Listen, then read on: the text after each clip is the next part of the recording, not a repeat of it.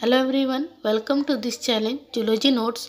आज की इस वीडियो में आपको बताऊँगी रियरिंग ऑफ़ सिल्क वॉम इसका हिंदी मीनिंग होता है रेशम के कीड़ों का पालन।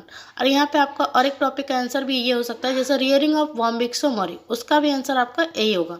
तो first introduction The rearing of silkworm refers to the growing of silkworm in an ideal environment to produce cocoon for silk.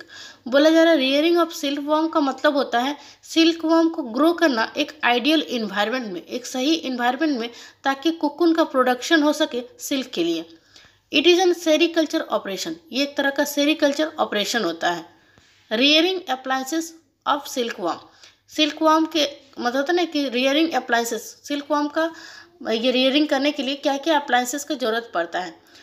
Silkworm rearing requires a set of appliances they are following silkworm का rearing करने के लिए, पालने के लिए कुछ sets मतलब appliances के सेट की ज़रूरत पड़ता है, जैसे कि rearing stand rearing tray chopsticks feather leaf basket chopping board chopping knife and mats पहला rearing stand rearing stand is use for keeping the rearing tray बोला जा रहा है रियरिंग स्टैंड का उपयोग जो होता है रियरिंग ट्रे को रखने के लिए किया जाता है।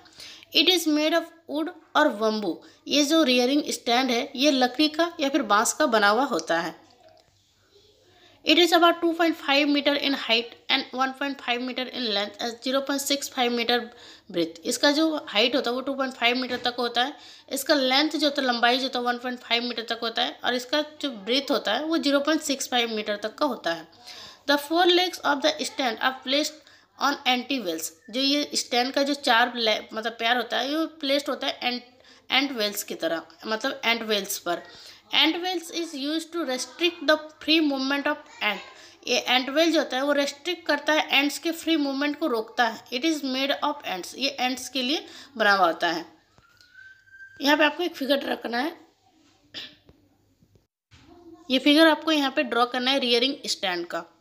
याद रखिएगा, अगर ये टॉपिक आपको लॉन्ग में पूछेगा तो आपको मतलब फिगर आपको ड्रॉ करना ही है।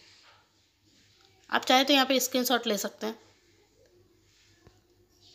उसके बाद है rearing tray rearing tray are use for rearing silkworm rearing tray का यूज़ किया जाता है सिल्क वॉम को पालने के लिए रियर करने के लिए। द ट्रे में भी सर्कुलर और रेक्टेंगुलर वो जो ट्रे है, वो सर्कुलर भी हो सकता है और रेक्टेंगुलर भी हो सकता है। The tray are made of bamboo और वुड वो जो ट्रे होगा, वो लकड़ी का या फिर बाँस का बना हुआ होता है। The tray are coated with cow dung paste mixed with formalin वो जो ट्रे जो होता है, वो कोटेड होता है मतलब एक तरह से बोल सकते हैं वो मतलब मतलब गिरा हुआ होता है, काव डंग पेस्ट से और मिक्स जो होता है वो फॉर्मेलिन से होता है, फॉर्मेलिन के साथ। A large number of silkworm can be reared in silk, in single tray. बहुत सारे नंबर मतलब सिल्क वॉम का नंबर जो होता है, वो रियड होता है सिंगल ट्रे में। एक सिंगल ट्रे में बहुत ज़्यादा मात्रा में सिल्क वॉम वो पाला जाता है इसमें। The tray are stacked on the rearing stack. क्या होता है, ट्रे को जो होता है, स्टैंड किया जाता है रियरिंग स्टैंड पर। The bottom of the tray is separate with paraffin paper जो बॉटम जो होता है ट्रे का जो बॉटम लेयर होता है ना, वो स्प्रेड होता है पाराफिन पेपर से। It prevent evaporation of water ये जो होता है वाटर की इवापोरेशन को ये रोकता है। It help in regulating humidity ये मदद करता है ह्यूमिडिटी को रेगुलेट करने में।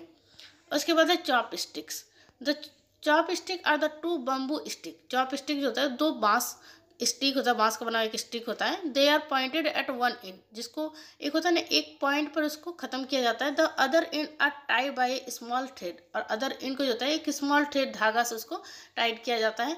They work like a forceps एक ये त, एक तरह का फोर्स कैप की तरह काम करता है। They are use to pick up the larva इसका यूज़ किया जाता है लार्वा को पिक करने के लिए। चॉप स्टिक का फिगर कुछ इस तरीके से है आपको ये फिगर भी ड्रॉ करना है। Feather feather is a bird's feather feather जो होता है, एक तरह का पंख जो होता है ना, उस तरह का होता है, वो बर्ड का फीदर होता है। It is use to brush the newly hatched larva from the egg card to the rearing tray ये एक तरह का ब्रश का काम करता है फीदर जो है, कि जो नया लार्वा जो हैस्ट होता है, उसको एग या फिर कार्ड में रियरिंग ट्रे में उसको एक तरह साफ़ करने से उसको मतलब ब्रश करने का काम करता है। ये रहा फिगर का सॉरी फिदर का फिगर ये फिगर भी आपको ड्रॉ करना है। Leaf basket leaf basket is a bamboo basket leaf basket जो होता है, एक तरह का बाँस का बास्केट होता है मतलब टोकरी उस तरह का। It is use to carry mulberry leaves from the field to the rearing house बोला जा रहा है, ये एक तरह का मलवरी लिव्स को ढोने का काम करता है फ़ील्ड से रियरिंग हाउस तक। उसके बाद है chopping board chopping board is a rectangular mulberry board which is use for cutting leaves chopping board जो होता है, एक तरह का रेक्टेंगुलर मलबरी बोर्ड होता है, जो यूज़ किया जाता है लिप्स को कटिंग मतलब लिप्स को कटिंग करने के लिए। It is made of wood ये लकड़ी का बना हुआ होता है। चॉपिंग बोर्ड जो है, देखने में कुछ इस तरह का होता है। जितना भी मैं फिगर दिखाऊँगी, वो फिगर आपको ड्रॉ करना है।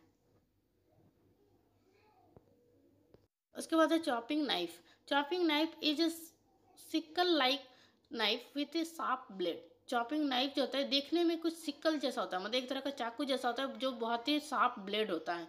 It is use for cutting lips इसका भी यूज़ लिप्स को कटिंग करने के लिए होता है।